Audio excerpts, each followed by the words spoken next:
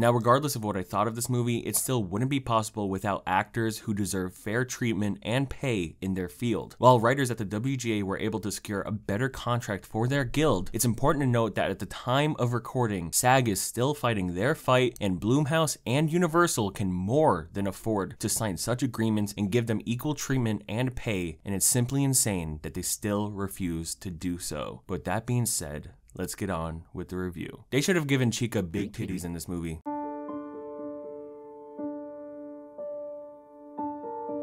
The Five Nights at Freddy's movie is here and it's really, really bad. Now, yes, this is a movie for the fans, but mostly the fans who watch four movies a year, or maybe four movies ever. You see, I grew up watching Markiplier play FNAF just like every single other kid on this planet. I was 15 years old watching him on my iPhone 4S because I was too poor to have an iPhone 6. I would watch every single upload hiding in the comments looking at the jump scare time codes because I was and still am a scared little I've always been a casual fan of FNAF, loving the designs and the vibes of the overall games and marketing, being obsessed with the animatronic horror and how juicy Chica's ass is.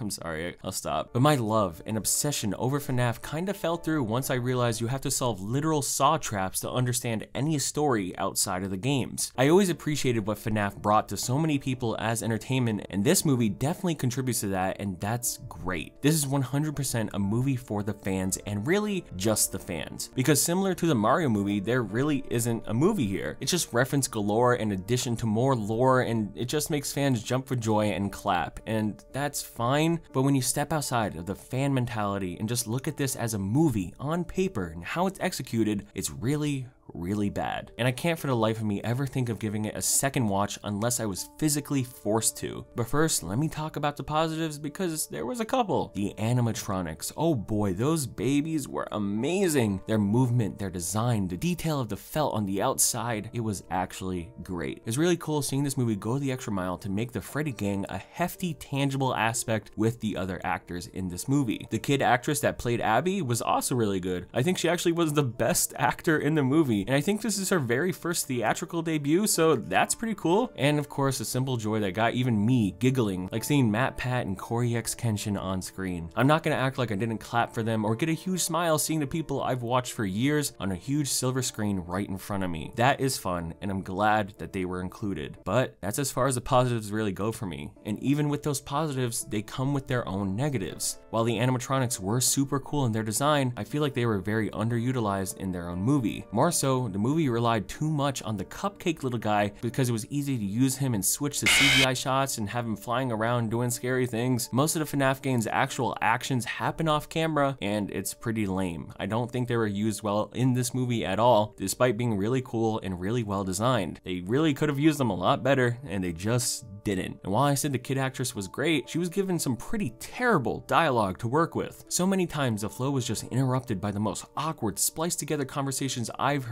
all year. And while her acting was good, everyone else sucked total butt. Even my goats, my legends, Josh Hutcherson and Matthew Lillard, they were pretty bad in this movie. It was disappointing. Also, this movie is genuinely ugly. The lighting is terrible for a movie that's based on games where lighting is a key game mechanic. This movie has a very low budget for what it is, because that's usually how Blumhouse operates. They keep their budgets small to maximize profits, and for an IP as big as FNAF, it seems that they skimped out on everything except the allure of the tangible animatronics. This movie is already projected to absolutely dominate the box office, so I just hope when they inevitably get a sequel, they don't hold back. And then there's the PG-13 rating, a controversial decision, but while I understand why they did it, I can still recognize how they skimped out even in that department. They wanted this movie to appeal to kids and adult fans alike, because while the majority of the fan base that grew up with FNAF is paying rent and depressed, there's still a huge amount of kids getting into FNAF all of the time. But even for a PG-13 movie, this was incredibly tame. There are times when it wants to show blood and times where blood doesn't even exist when it should and it just takes you out of the movie. The goriest, grossest scene is a close-up of a face for like 4 seconds and everything other than that is just really boring. Most kills happen off screen or when the camera cuts away. There's no creativity in trying to get around a PG-13 rating and showing it in a more fun and thoughtful way. I mean, even Happy Death Day, a movie I don't particularly like, has some more fun kills than anything in this, and that's also rated PG-13 and from Blumhouse. It makes the horror almost non-existent because there's no atmosphere here, and since you don't even have good kills, there's just nothing here in the horror department. It uses its rating restriction as a crutch rather than a fun workaround, and that's pretty boring. I mean, it's a series about child abductions and gross gear, gore, chomping, and other bull, and it just feels so sleeper. And then there's the story. Now, yes, FNAF has always been convoluted, confusing, downright insane. And I saw critics and people saying that this one is too much of that, and I couldn't agree less. This is one of the most bare bones stories you could ever make about Five Nights at Freddy's. The most boring and drawn out you could possibly do with any of the lore. It's like taking the secret sections of the Purple Man and stretching those out for nearly two hours. It's not a fun movie plot to dive into a dream sequence 30 times in the exact same manner and repetition and have only one of them actually matter and do something different. The main character, Michael, is the most uninteresting character to ever exist in this world. You can only watch a man freak out about his brother being kidnapped the exact same way so many times before you just don't care anymore. I mean, for a series spanning 20 games, 40 books, and 300 MatPat videos, they really only added like one story element to really care about, and boy, is it drawn out. I just watched Killers of the Flower Moon a week before this, and despite it being double the length of FNAF, FNAF felt longer. I was counting the minutes, counting the seconds, waiting for something to actually happen, even references or stupid fan service, anything, because it really just wastes your time. It would have been far more engrossing, far more engaging, far more entertaining to just put the security guard in the office for five whole nights and just sit there as he defends himself. People want to act like having a security guard in one location the whole movie would be bad, when it is a clear sign that, wow, you should watch more movies. They 100% could have made it way more creative and interesting just staying in the dang Freddy's Pizzeria the whole movie. The best part about small budget horror movies is being stuck in one